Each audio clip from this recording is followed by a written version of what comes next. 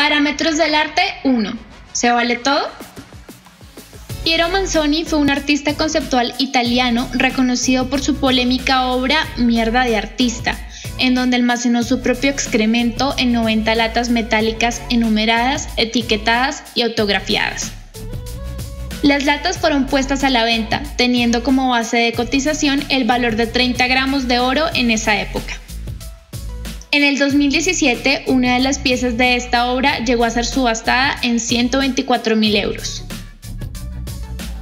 En 1965, el artista alemán Joseph Beuys entró a una galería con la cara untada de miel y polvo de oro, cargando una liebre muerta en sus brazos.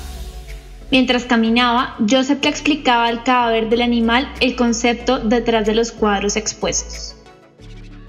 Esta y otras obras de artistas como Mauricio Catelán, que pegó un banano con cinta adhesiva a la pared y vendió su obra en 120 mil dólares, o Guillermo Vargas Jiménez, más conocido como Habacuc, que exhibió un perro atado sin agua y alimento, nos hace pensar cuáles son los parámetros del arte e incluso nos hace reflexionar sobre su propia definición. ¿Qué es arte?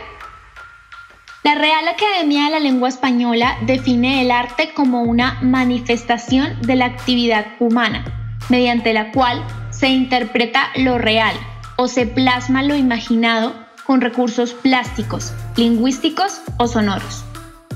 Históricamente hemos visto representada esta manifestación en la belleza de las escenas religiosas del arte medieval, la naturaleza como protagonista del impresionismo, la finalidad política y social de las vanguardias del siglo XX y la evolución de la estética en el transcurso de la humanidad. Por lo tanto, podría decirse que todas las obras y las formas de expresión concebidas desde el inicio del hombre hasta la actualidad pueden ser designadas como arte. Sin embargo, muchos críticos consideran problemática esta perspectiva y estiman necesario que estas exteriorizaciones cumplan con ciertos criterios para poder ser llamadas obras de arte. Parámetros en el arte. El arte contemporáneo, latas de heces, TV novelas, música urbana, cine de superhéroes, redes sociales, animaciones hiperrealistas, entre tantos, es la manzana de la discordia, por la cual surge el cuestionamiento sobre los parámetros del arte, para clasificar si una obra es o no es artística.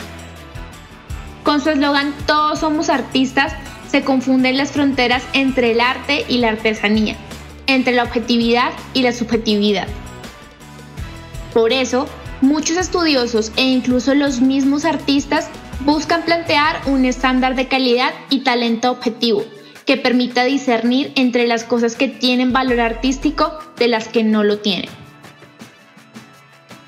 ¿Cuáles crees tú que deberían ser los parámetros establecidos para saber si algo es o no es arte? Espera nuestra próxima entrega en donde analizaremos más a fondo y conoceremos los parámetros propuestos por otros artistas.